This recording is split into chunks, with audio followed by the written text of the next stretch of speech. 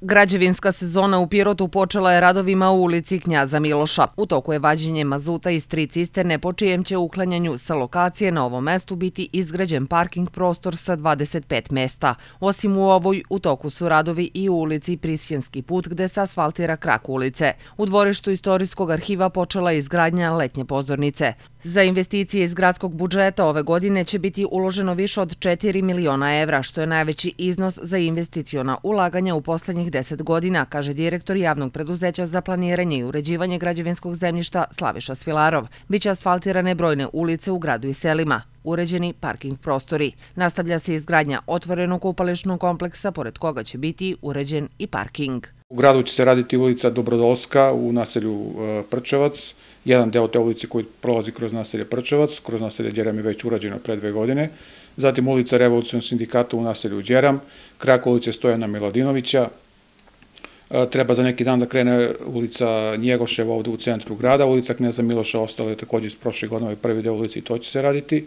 Što se tiče e, trotoara, ulica Cara Dušana, ulica Ćirili Metodi, investicija koja bi trebalo vrlo brzo da počne s obzirom da je javna nabavka već pri kraju zatim uređenje ulice, odnosno trotoari i parking prostor u ulici Jevreskoj, veoma bitna investicija uređenje ulice i trotoara srpskih vladari i Vojvode Momčeva, dakle ovde, ovde od Semanfora, desna strana pa tamo do Gazele, ulica 22. divizije nastavak od Gazele do Malog mosta. Svilarov najavljuje i brojne radove na sanaciji puteva u selima. Između ostalih planirani su radovi u selima Dobri do i Rasnica.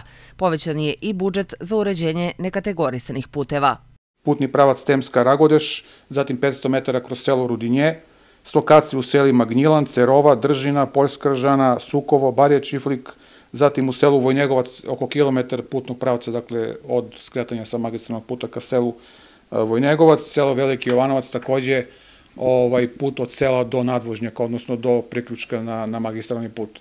Dakle, puno je zaista planova, puno je aktivnosti, neke od ovih investicija će se raditi kroz program rednog održavanja, neke realizacijom samih projekata koji su završeni, a što se tiče programa nekategorisanih puteva, i on je sad usvojen na zadnjoj skupštini u petak i tu je povećan iznos na 12 miliona u odnosu na prošlogodišnjih 10 i ranije kada je bilo 8. Biće uređeni i nekategorisani putni pravci Obrenovac Milojkovac, Kamik Berovica, Rasnica Pasjač Sinjaglava, Gornja Držina do manastira Svetog Đorđa, kao i nekategorisani putevi u Jalbotini i Sopotu. Svilarov kaže da je saradnja sa drugim javnim preduzećima veoma dobra i neophodna za realizaciju svih planiranih poslova.